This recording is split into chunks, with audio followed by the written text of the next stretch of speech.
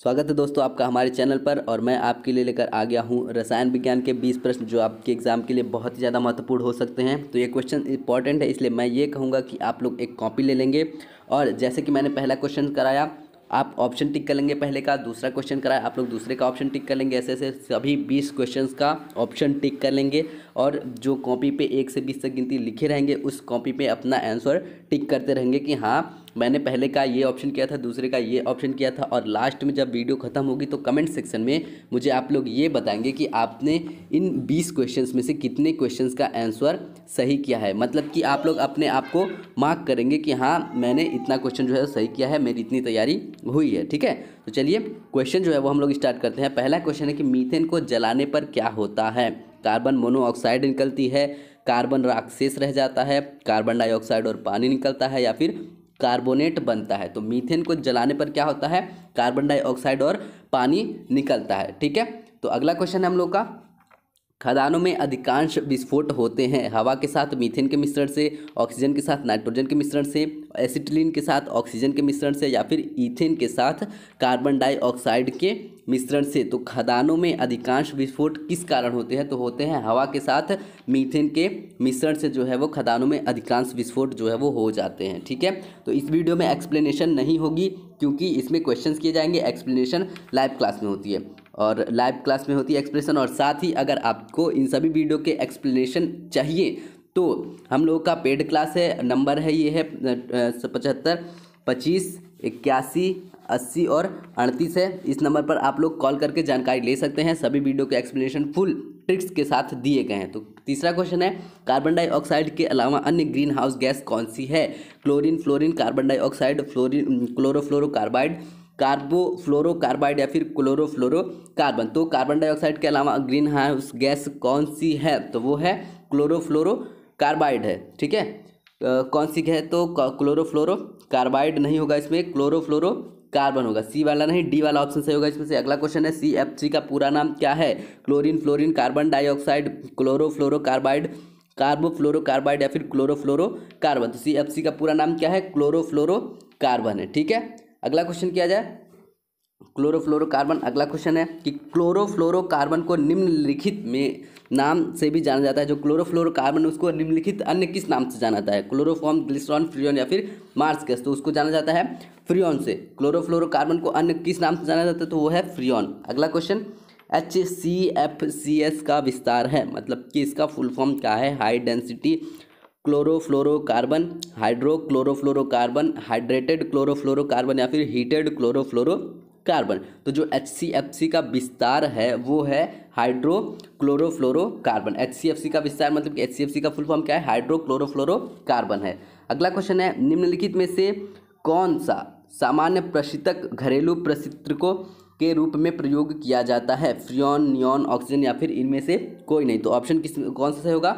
A option सही होगा कि सामान्य प्रशीतक घरेलू प्रशित्रकों के रूप में प्रयोग किया जाता है। तो ये क्वेश्चन की डेफिनेशन ज़रूर जाएगी आपके पास। इसका मतलब है कि फ्रिज में कौन सी गैस होती है? मतलब कि फ्रियोन यानी कि सी एफ़ सी गैस होती है। अगला क्वेश्चन है कि ईथेन गैस का स्वाद थोड़ा होता है।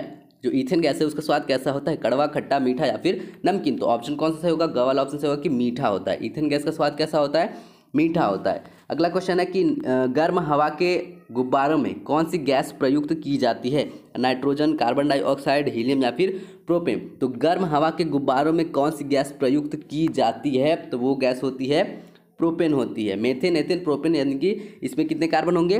तीन कार्बन होंगे। प्रोपेन यानी कि तीन कार्बन गर्म हवा के गुब्बारों में कौन सी गैस प्रयुक्त की जाती है? तो वो है प्रोपेन की जाती है। ठीक है? अगला क्वेश्चन है कि सिगरेट लाइटर में निम्नलिखित में से कौन सी गैस प्रयुक्त की जाती है? तो जो सिगरेट लाइटर होते हैं, उनमें से कौन सी गैस प्रयुक्त की जाती है? ब्यूटेन मीथेन प्रोपेन या फिर रेडॉन तो ऑप्शन कौन सा से होगा? क वाला से होगा कि ब्यूटेन प्रयुक्त की जाती है। कौन सी गैस प्रयुक्त की जाती है? ब्यूटेन की जाती है। मेथेन एथेन प्रोपेन ब्यूटेन यानी कि ब्यूटेन में कितने कार्बन होंगे? चार कार्बन होंगे। अभी ये नहीं समझ में आ रहा है ये सब ट्रिक्स हैं और ये सभी ट्रिक्स आपको दिए जाएँगे और ये ट्रिक्स किसमें मिलेंगे? आपको पेड क्लास में मिलेंगे, जिसमें आपको मैथ के पचास चैप्टर मिलेंगे, केमिस्ट्री के भी आपको ट्वेंटी फोर चैप्टर जितने कि आपके सिलेबस में हैं, और साथ में फिजिक्स के भी ट्वेंटी फोर चैप्टर जितने आपके सिलेबस में हैं, सबका फुल एक्सप्लेनेशन के साथ, ट्रिक्स के साथ सभी वीडियो आपको दी जाएगी, और साथ में पाँच हज़ार क्वेश्चन के पी दिए जाएँगे, ठीक है? और उसके साथ ये जितने भी पी है, ये सभी आपको प्रोवाइड कर दिए जाएँगे, आपके व्हाट्सअप नंबर भेज दिए जाएँगे। तो इसीलिए पेड क्लास बहुत ही ईजी है, और नंबर है हम लोग का पचहत्तर, पच्चीस, इक्यासी अस्सी और अड़तीस है, ठीक है? तो इस नंबर पर आप लोग कॉल कर सकते हैं और जानकारी ले सकते हैं। आपको वीडियो अच्छी लगी तभी पेड क्लास ज्वाइन करिएगा। अगला क्वेश्चन हम लोग करते हैं। जब दूध खट्टा हो जाता है तो उत्पादन होता है, किसका? लैक्टोज का सेलिसिलिक एसिड का लिनोनिक एसिड का या फिर लैक्टिक एसिड का? तो ऑप्शन इसमें से कौन सा सही होगा? कितने लोग लैक्टोज मार के आ जाएँगे? लेकिन गलत हो जाएगा। लैक्टिक एसिड से होगा कि जब दूध खट्टा हो जाता है, यानी कि जब दूध दही बनने की अवस्था में जाता है तो उसमें किसका उत्पादन होता है? तो लैक्टिक एसिड का उत्पादन होता है, जिसमें लैक्टोबैसिलस एंजाइम्स होते हैं, जो दूध बनने में मदद करते हैं, दही बनने में मदद करते हैं, ठीक है? फोटोग्राफी में कौन सा अम्ल प्रयोग किया जाता है। ऑक्जेलिक अम्ल, फॉर्मिक अम्ल, साइट्रिक अम्ल या फिर एसिटिक अम्ल। तो ऑप्शन कौन सा सही होगा? ऑक्जेलिक अम्ल। फोटोग्राफी में कौन सा अम्ल प्रयोग किया जाता है? तो ऑक्जेलिक अम्ल प्रयोग किया जाता है। निम्नलिखित में से कौन सा यौगिक गुर्दे की पथरी का निर्माण करने वाला सर्वाधिक सामान्य यौगिक है? Sodium bicarbonate, calcium oxalate, magnesium oxide या फिर मैग्नीशियम साइट्रेट। तो निम्नलिखित में से कौन सा यौगिक गुर्दे की पथरी का निर्माण करने वाला सर्वाधिक सामान्य यौगिक है? तो ऑप्शन कौन सा होगा? कैल्शियम ऑक्जलेट वाला। ठीक है? अगला क्वेश्चन नींबू का खट्टा स्वाद किसकी मौजूदगी के कारण होता है? ऑक्जेलिक अम्ल, एसिटिक अम्ल, लैक्टिक अम्ल या फिर साइट्रिक अम्ल? तो सभी लोग जानते हैं लगभग, जिसको नहीं पता है तो आप अपनी केमिस्ट्री जो है वो और अच्छी स्ट्रॉन्ग करिए। तो इसमें बोला है कि नींबू का खट्टा स्वाद किसकी मौजूदगी के कारण होता है? तो वो होता है साइट्रिक अम्ल के कारण। जैसे कि नींबू हुआ खट्टे जो फल होते हैं, उसमें कौन सा अम्ल होता है? तो साइट्रिक अम्ल होता है जनरली तो ऑप्शन होगा डी वाला साइट्रिक अम्ल खट्टे फलों में क्या होता है? साइट्रिक अम्ल लैक्टिक अम्ल ऑक्जेलिक अम्ल या फिर फॉर्मिक अम्ल तो जैसा कि मैंने अभी जस्ट ऊपर बताया था कि खट्टे फलों में जनरली कौन सा अम्ल पाया जाता है तो वो होता है साइट्रिक अम्ल जैसे कि नींबू हुआ, संतरा हुआ, इन सबों में कौन सा अम्ल पाया जाता है? साइट्रिक पाया जाता है। अगला क्वेश्चन है, निम्नलिखित में से कौन सा अंगूर में पाया जाने वाला मुख्य कार्बनिक अम्ल है? तो बताइए यहाँ पे जो अंगूर है, अंगूर में पाया जाने वाला मुख्य कार्बनिक अम्ल क्या है? अमीनो अम्ल ग्लाइकोलिक अम्ल, टार्टरिक अम्ल या फिर म्यूसेनिक अम्ल? तो ऑप्शन कौन सा सही होगा? टार्टरिक अम्ल पाया जाता है। अंगूर में कौन सा पाया जाने वाला मुख्य कार्बनिक अम्ल है? यानी कार्बनिक अम्ल, यानी कि उसमें क्या होगा?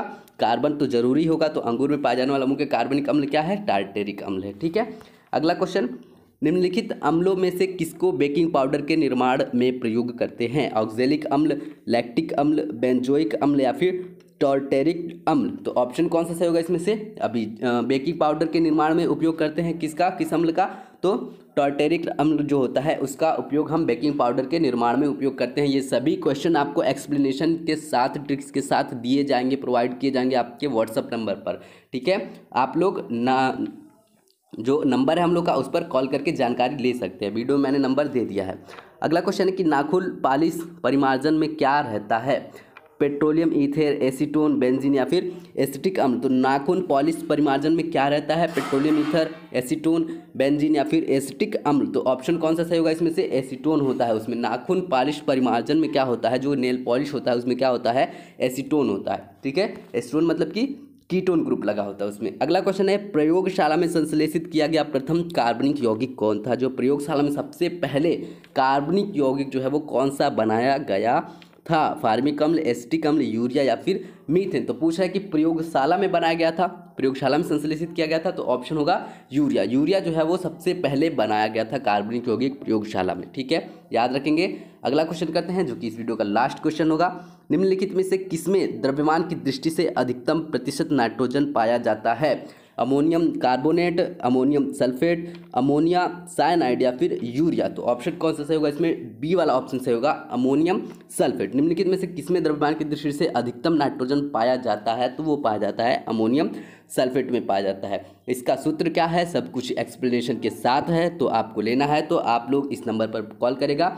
पचहत्तर, पच्चीस, इक्यासी, अस्सी और अड़तीस पर कॉल करके पूरी जानकारी ले सकते हैं। तो मिलते हैं हम आपसे अगले वीडियो में और तब तक के लिए धन्यवाद और कमेंट सेक्शन में मुझे ये बताएँगे कि आपने इन 20 क्वेश्चंस में से कितने क्वेश्चंस का आंसर ट्रिक किया है और साथ में ये भी बताएँगे कि आपको ये वीडियो कैसी लगी, ये क्वेश्चंस कैसे लगे एक्सप्लेनेशन कैसे लगे। कमेंट सेक्शन में ज़रूर बताइएगा। मिलते हैं आपसे अगले वीडियो में।